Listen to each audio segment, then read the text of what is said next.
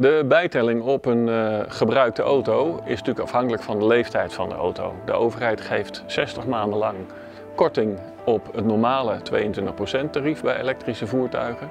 Als die 60 maanden voorbij zijn en u heeft een BV, is het verstandig om die auto of naar privé te halen, of u valt in de huidige bijtellingsregeling. Die is op dit moment 16% tot 30.000 euro, daarboven 22. Of u haalt de auto voor een economische handelswaarde naar privé. Heeft u een eenmanszaak, dan gaat u bijtelling betalen op basis van autokosten. Alle kosten, afschrijving, wegenbelasting, verzekering, onderhoud, banden, stroom, alles bij elkaar opgeteld, dat wordt dan uw bruto bijtelling. Uw boekhouder weet hoe dat eh, verwerkt moet worden in de administratie.